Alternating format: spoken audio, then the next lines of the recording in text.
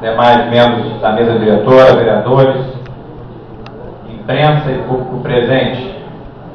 Eu, como bem já disse o vereador Marcelo Viana, não podia deixar de vir à tribuna diante do fato ocorrido, mas antes disso, queria aqui, em nome desta Casa de Leis, agradecer, como já o fez o vereador Robson Luta aqui, a presença do engenheiro, diretor técnico, engenheiro Simões, que coordena os trabalhos de execução e de logística da TV Câmara na cidade do Rio de Janeiro, foi responsável pela implantação dela é, na cidade, a nível no, no Senado Federal, e vem essa casa colaborar com o processo dela, e para nós é motivo de satisfação que a consequência do nosso trabalho possa se fazer. Eu quero só rapidamente citar, é, aproveitando inclusive a presença do nosso secretário de transporte na nossa casa, é, um ofício recebido por esta casa da Associação de Moradores e Amigos de Guaratiba, que faz uma série de solicitações e de intervenções de nossos mandatos para a execução de alguns programas daquela região, que vão desde o fornecimento de água potável ao bairro, instalação de ponto de embarque de coletivo, padronização dos atuais, instalação de placas sinalizadoras nos cruzamentos das vias e uma série de outras elencações feitas aqui pela representação da entidade.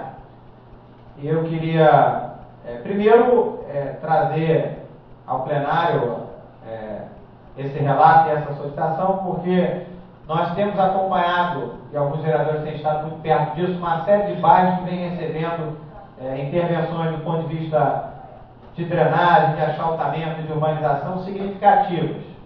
Né? Quem esteve recentemente em Ponta Negra, em Bambuí, hoje eu tive vereador Bide, tem acompanhado de perto os trabalhos na área de Cordeirinho, em Bambuí, tem visto que uma série de bairros, como Guaratiba foi, tem sido contemplados uma ação muito presente no poder público. E disso nasce a partir da resolução do problema anterior e prioritário, a necessidade que outros problemas possam vir à tona. Certamente, secretário Leandro, nós temos a, a necessidade e emergência urgente de poder estar instalando, é, e essa casa tem sido um veículo de discussão disso, quebra-molas em determinados pontos do nosso município. A gente sabe da, da importância do resultado prático disso é, hoje eu conversava com o secretário de obras, Fernando, acompanhando a obra em um bairro da cidade, e ele me fez uma colocação muito ponderada.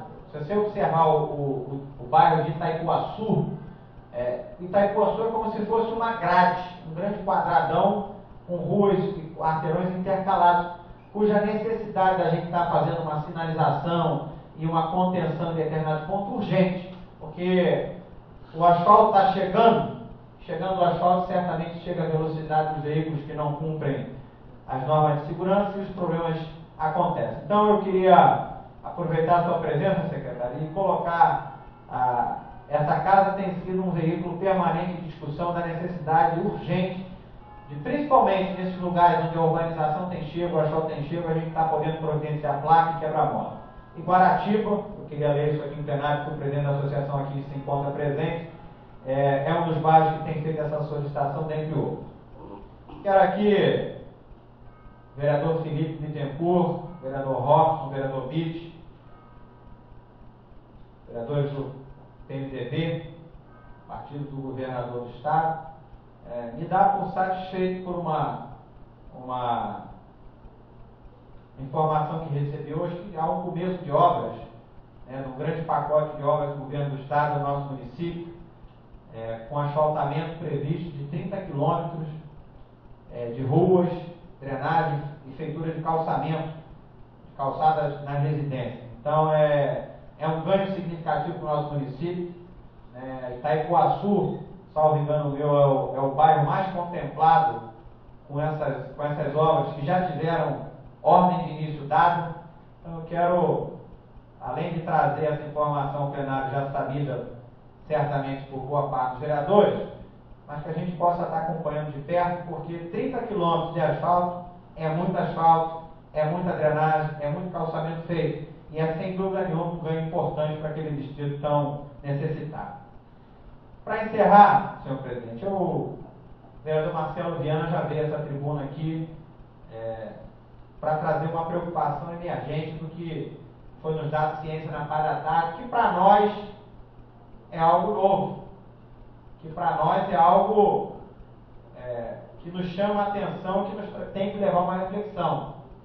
Nós não estamos falando de um acidente de automóveis, nem de uma batida de bicicletas, nem de um atropelamento.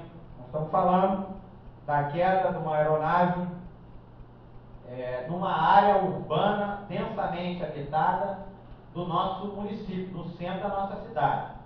E esta casa, esta casa tem em tramitação um projeto que concede é, a exploração do nosso aeroporto para atividades aeroportuárias é, tramitando aqui.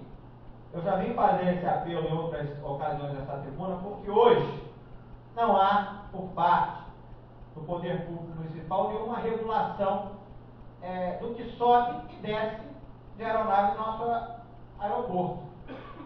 Né? Há um total desrespeito, certamente, a normas é, de segurança e normas de é, ação pública, de coerção, que não é realizado hoje e que, por fatalidade, é, podem ceifar vidas e certamente a gente fica preocupado.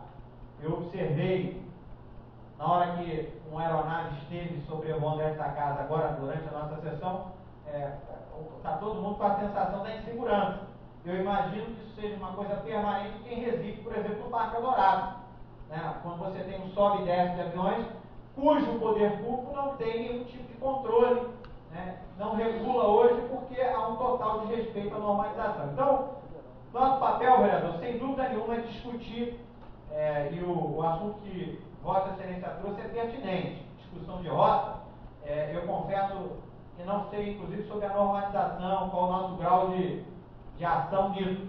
É importante que a gente possa estar é, nos informando, pesquisando para poder discutir. Mas, sem dúvida nenhuma, a autorização para concessão de exploração privada do aeroporto é algo que é o nosso papel, está sobre as nossas mesas, sobre as nossas comissões. E que esta casa já o fez esse ano. E precisamos novamente fazê-lo, porque houve uma alteração do convênio com a ANAC, e a mensagem foi vetada, e essa casa hoje encontra-se com outra mensagem para discutir a concessão do aeroporto.